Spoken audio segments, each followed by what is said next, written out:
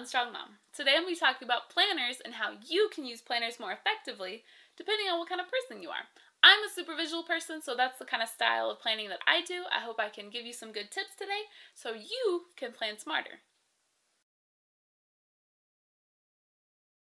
First off, separating your days into three parts. You can do morning, afternoon, evening, or you can do work, family, and personal.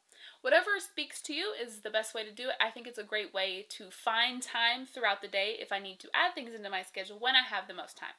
I have the most energy in the morning, but I have a lot of time in the afternoon because my daughter naps in the afternoon. So these are just things to think about when you're considering how you want to set up your uh, planner. Happy thoughts and daily blessings. So I've done this my entire life. My mom used to ask me, What's your happy thought of the day? What's your happy thought of the day? And it can be the littlest thing, but those little gems of your day is what make up your whole life. And you know how sometimes you'll be like at the end of the day, you're like, what did I do this week? Like, you can't remember anything. Like, nothing stands out. But every day, writing down a couple things that were wonderful about that day can be so magical because you have all, like, at the end, you have a planner full of all these wonderful moments that you've had throughout the year that you probably wouldn't have remembered if you didn't write them down. Now, as well as setting weekly goals, you can set weekly activities that need to be done. I started to do this with my daughter when she was about six months old, the activities each week I wanted to do with her.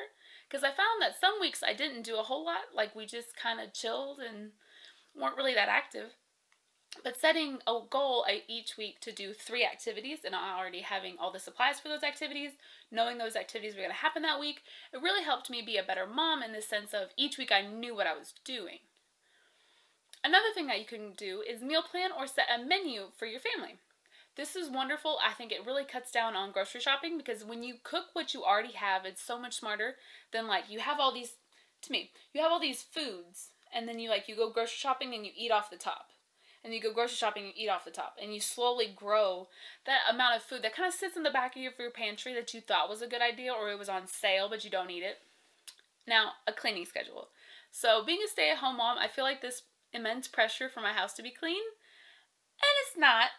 But I try to keep it as clean as I can. And I used to every day, all day, like, oh my gosh, I should clean. I should clean. All the time. It was really ridiculous. And a few months ago, I found this really great system to where I would clean three days a week. And I have my list of things that I do on cleaning days. And then each time, like each of those days, I try to do two or three things on the list it's worked out pretty well. And then on one day of the week, I do one extra thing. Like I'll change the sheets, I'll dust the fans, just jobs that I normally don't do, but if I keep on top of them semi regularly, I feel a lot better as a mom knowing I'm keeping my house at least okayly clean. And then I don't have those pressures on like those in between days where I'm like, I should clean right now. I should clean right now. No, it's fine. I clean on Monday, Wednesday, Thursday, or whatever. So I like to use my planner to create routines. I'm all about changing up routines and improving my routine all the time. So I put it on the side of my planner and then I'll do a check off each day when I'm doing it. I started this at the beginning of the year because I wanted to start a new skincare routine because my skin is booty. Not right now, but my entire life it's been booty. So I started a new routine where I did it in the morning, in the evening, X amount of products, and every day I checked it off twice a day. And it really helped. So if you're trying to form any habits, or you're having any pushback with anything you're trying to um, add into your life, really checking it off in your planner can be really motivating.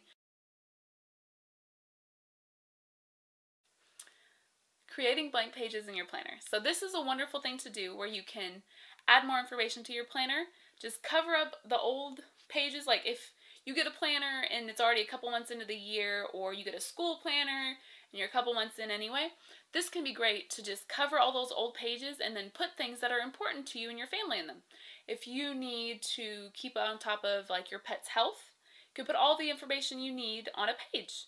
And then you can do notes about like their allergic reactions to different medicines, their different trips to the vet, their weight, whatever you're doing, you can put it in your planner and then you'll always have that information there. Because like, you know, when your brain's buzzing with all these things that you try not to forget, you're like, don't forget that, don't forget that all the time. If you write it down, it kind of calms the mind a little bit and it keeps that information in a secure location to where your brain trusts that you're going to keep that information and they don't need to remember it all the time.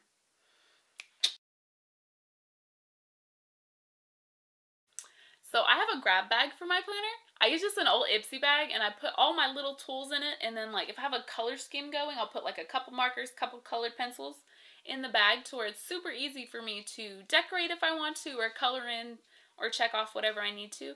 I really recommend it. It's like a fun little thing. If you need like a small creative outlet along to go with the organization, anxiety, whatever, it's a great tool. I hope I was able to help you in your planning. Have a wonderful day. Bye.